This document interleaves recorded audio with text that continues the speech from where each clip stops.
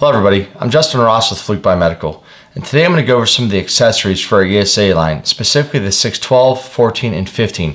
Today I have an ESA 614 here, so this is a product you only see in the US market. Um, if you're outside the United States, you'll probably be familiar with our 612 or 615. So what some people don't realize is just how many accessories we have for this device and how much easier it can make your life having some of these accessories. So let's start going over something. I'm gonna go ahead and lay this down so we can see past it. The first one I wanna cover is the power cord. So if you've purchased any of our older devices, you'll notice that the power cord on this one is slightly different. The first thing is it only has a 15 amp plug, where before we had a 20 amp plug and you had to have an adapter on the end of it.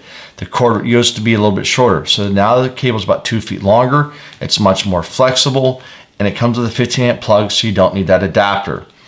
If you want this or you don't have the part number for it, please reach out to your local Fluke rep or jump on our website and we'll be happy to help you out with getting all these part numbers. But there's the first accessory. Okay, moving on. Standard accessories that we see in the package is these two cables here, the black cable and the red cable.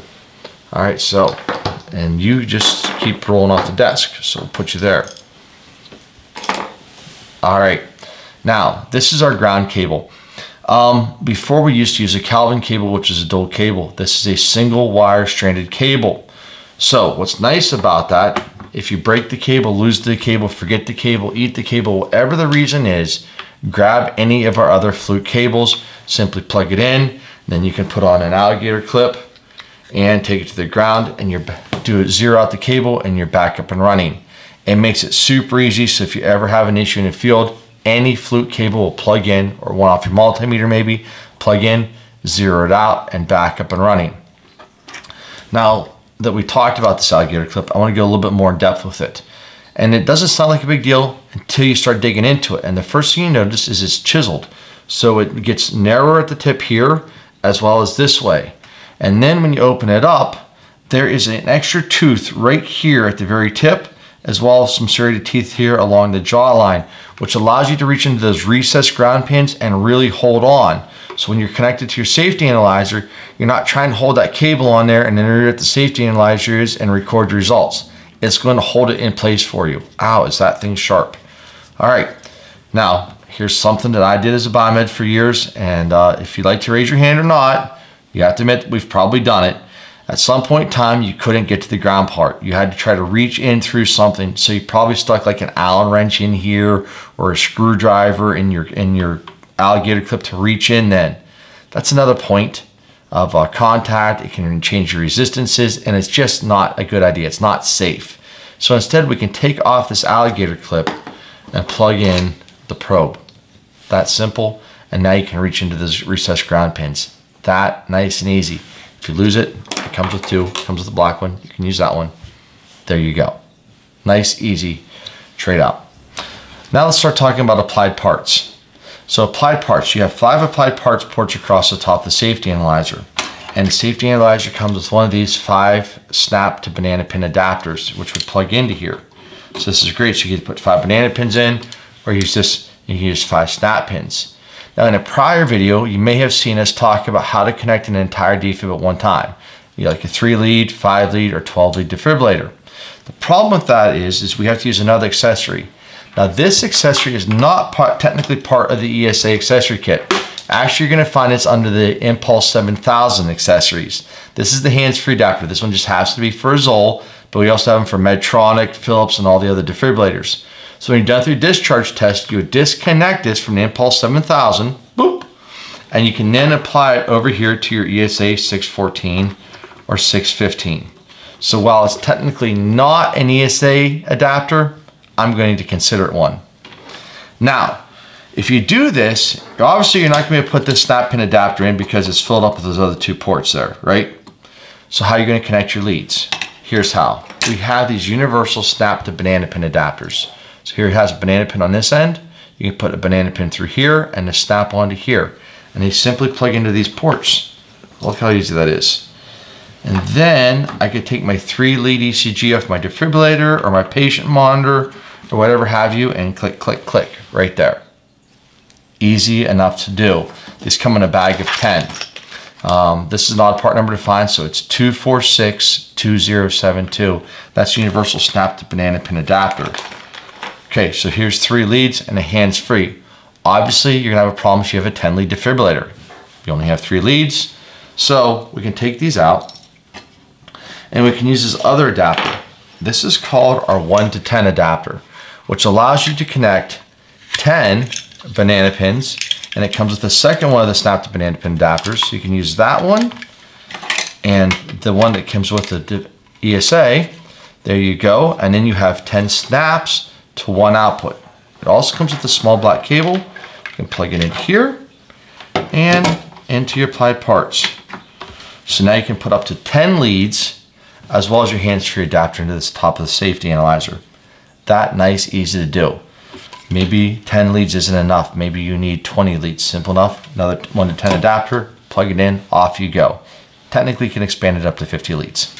Pretty cool, easy thing to do. All right, now I'm gonna move that off to the side here. And let's talk about ultrasounds for a second. So we have our ULT 800. Um, a lot of people are testing our T probes, or testing our T probes with the ULT 800 The problem with the ULT800 is it is a pass-fail device. And if you need to know the exact reading on that, on that T-probe or your ultrasound probe, how are you going to do it? So there's this adapter right here. This is a 3472633 uh, ESA 615 uh, ultrasound adapter. Okay, and what allow you to do is connect the plates, the adapter plates from the ULT800 or the dual conductivity probe to this, and then this will go into your safety analyzer just like that. I recommend you get two of them because you're going to need one for the uh, for the adapter plate and you're going to need one for the T-probe. So one up there, down there, one up here. Makes it nice, easy. Now you can connect this through, use the applied parts test, the sync current, and you can get the exact leakage off that T, off that T-probe or ultrasound probe. There you go. Another adapter that you might want to use with that is this ground probe. Here it is and you can put this into the fluid. Um, there's some other things you can do with it, but it's got that old style connector on it that's familiar with our uh, ESAs, so you can connect it right to that last adapter, and then this would go into your fluids. Actually, you connect it up here. There you go. And then into the fluid bath to test your ultrasound probes or your T probes. Another great adapter. Um, this one is 2392427. So you're starting to see there's lots of capabilities with the safety analyzer. A lot of things that we forgot about or didn't know about and didn't know how to connect. So we've been kind of just maybe not doing without or finding another way. One more thing I like to talk about, point-to-point -point testing. So I'm going to grab the two cables that come with the safety analyzer. There's my red one, here's my black one. And if I was going to do point-to-point -point testing, this is something that's required in most states and in the United States on your MRI tables, your CT tables, um, X-ray tables, lab analyzers, things like that. If you're going to do a new one or do a repair of one, those permanently fixed devices. You're going to need to do point-to-point -point testing to get the ground wire resistance and check for transient voltages and leakages. So you connect these two in here, and then you go and do your testing. The problem is you'll notice you only have about a six foot reach with these two cables. That's not quite far enough. You might need to go further. So we also sell 50 and 75 foot leads. So what we would do is simply maybe take out this black lead here. And of course it's gonna tie itself around. Murphy's Law here one second. Take that off. Remove this cable from the batch. And then we can simply plug this into here. There we go. And then into here. So 75 foot cable here. I think we'll reach now. But we changed cables. We just changed cables. So anytime you change cable or introduce a new cable to the ESA, we want to put the two together, we go into the point-to-point -point function, go to the ground wire function, and we're going to zero the cables out, right? Because there's a lot of length here, so we want to make sure that resistance is zero then take our measurements. So we can do our, our uh, ground wire resistance and our leakages. So there you go. There is a bunch of accessories for this and there are more, but these are some of the ones I like the most that make my job easy as a biomed.